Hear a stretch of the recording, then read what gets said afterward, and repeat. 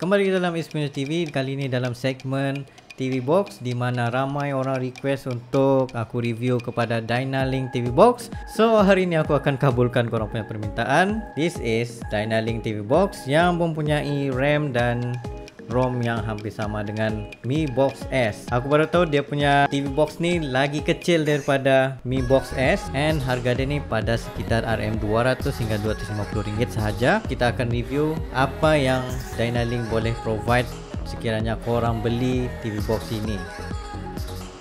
Dynalink menggunakan M-Logic S905Y2 dan juga Mali G31MP2 GPU serta mempunyai RAM 2GB DDR3, storage 8GB of RAM serta menggunakan 4K HDR 60fps support resolution dan juga HDR10 HDR10 Plus. Ianya menggunakan ports HDMI 2.1 serta 5V 1A micro USB power. Terdapat dalam ni iaitu manual book, cara untuk menggunakan Dynalink TV Box dan cara untuk memasangnya di TV korang. Seterusnya 5V 1A micro USB power dan korang perlu menggunakan converter untuk connect kepada power dia ni. HDMI 2.1 Remote control yang macam Mi Box S yang ada Netflix, YouTube dan juga Google Play shortcut. Serta key uh, very plasticky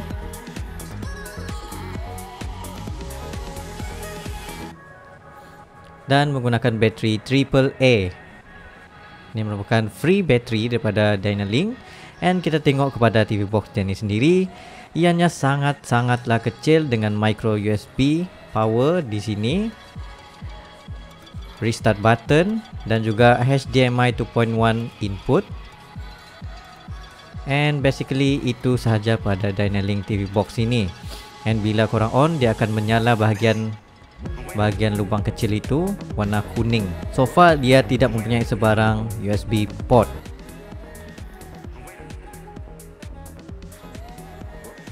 Okay, the first thing kita kena try untuk connect benda ni to your phone or computer. Visit android.tv to set up. Your Dynalink TV box is powered by Android TV. Yes. Get apps from Google Play, talk to the Google Assistant okay, cast to your TV so ini merupakan korang punya user interface kepada Android TV macam biasa dia punya interface ni sangat mudah untuk difahami. Bila korang letak korang punya playlist ini akan keluar bahagian apa untuk ditengok. Netflix, YouTube watch. Ini Google Play boleh download terus pada sini. Spotify, View Sling TV but Sling TV ni sama juga lah konsep dia macam menggunakan TiVo stream di mana korang perlu melanggan VPN supaya dapat buka Sling TV ni. Yang ini pula untuk Dazan ni ialah uh, sports dan untuk connect kepada football korang perlu connect kepada VPN juga kepada Canada kalau tidak silap atau California. And kita akan try buka YouTube. Sebab ada certain TV box yang claim diorang menggunakan 4GB of RAM 64GB of ROM. Tapi bila play 4K jadi lagging juga. So this one kita try untuk tengok quality wise. Yes kita menggunakan sekarang ni iaitu 4K so now kita try pula dia punya Netflix. Ok sebagai contoh kita just buka this white tiger. Ok perfect. Seterusnya kepada view. Dan ramai orang mengadu yang view ni ada masalah subtitle di dalam TiVo so kita tengok kepada view uh, di dalam Dynalink ini sama ada masalah juga subtitle ataupun tidak. Yes, subtitle tidak masalah langsung. And then selain tu korang ada Sling TV tapi Sling TV ni memerlukan VPN untuk buka sehingga korang just buka directly macam gini memang tidak dapat disebabkan dia memerlukan VPN and not available in your country. Sama lah juga macam TiVo Stream 4K tu di mana dia punya TiVo Stream tu memerlukan VPN untuk buka sebab mostly only available in US ataupun kawasan setempatnya.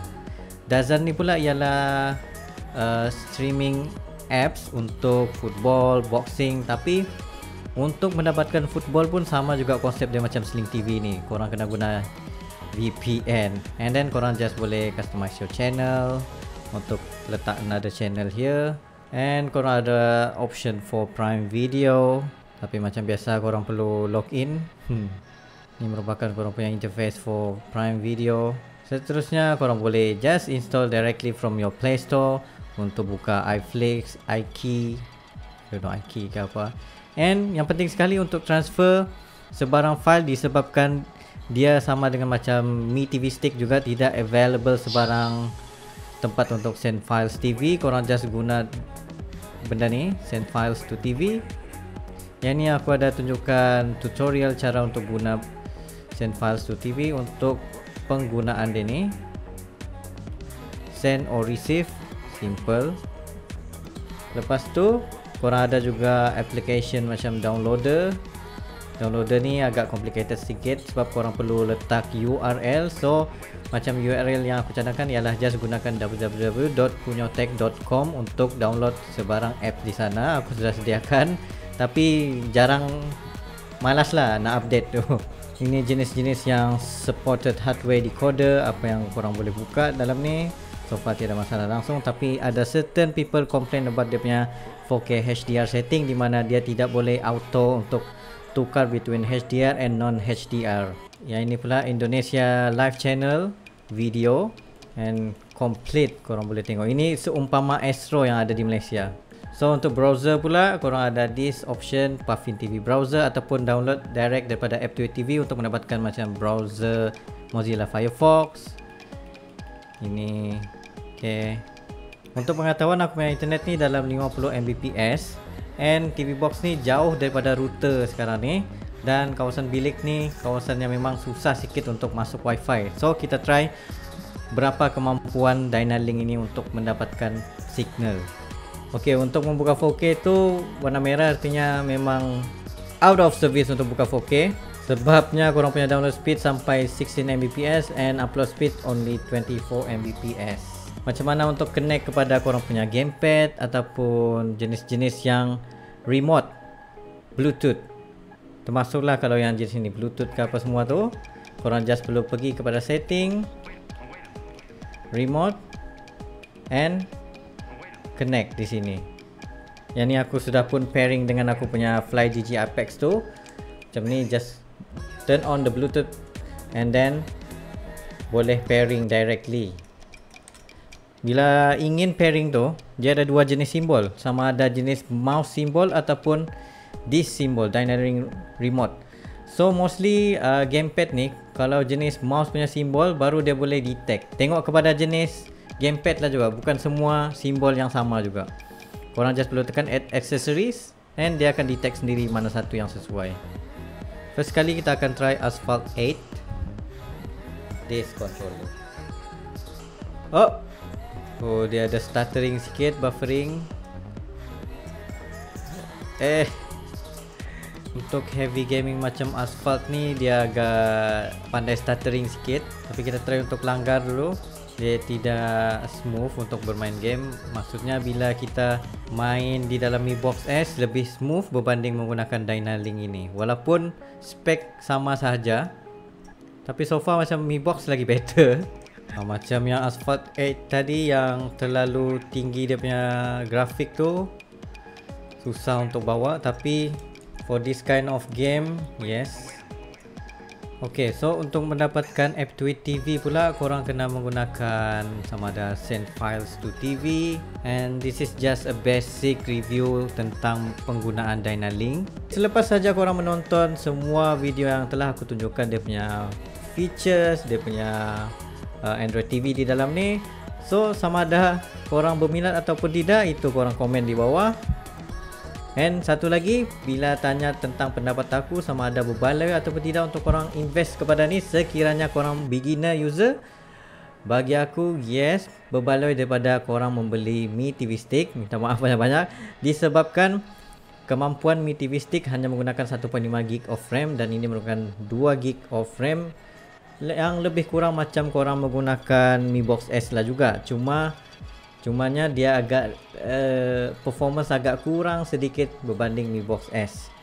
And then satu lagi kalau korang yang jenis yang suka side load apps lepas tu suka cucuk pendrive lah sana sini nak tambah storage aku tidak syorkan sangat untuk korang miliki ni tapi korang boleh go for TiVo 4K stream ataupun kepada Mi Box S. Dan ini bagi aku sesuai untuk korang jadikan sebagai secondary TV box dekat rumah tanpa merisaukan bajet yang tinggi. And korang ada juga pesaing dia iaitu jenis-jenis Fire Stick TV Amazon Fire Stick di mana TV box itu memang terbukti performance wise memang bagus. Tapi in term of side load tu minta maaf banyak-banyak ada complicated sedikit untuk orang yang orang-orang baru semua. Untuk aku sendiri aja pun aku blank juga. Okay. So keputusan di tangan korang sama ada korang ingin beli TV box ini ataupun tidak terserah dengan diri masing-masing. Tapi kalau tanya aku aku just jadikan benda ni sebagai aku punya second secondary TV box untuk dekat bilik ke yang bukan sebagai primary punya TV box. Itu saja daripada aku. Thank you very much for watching. Jumpa lagi next time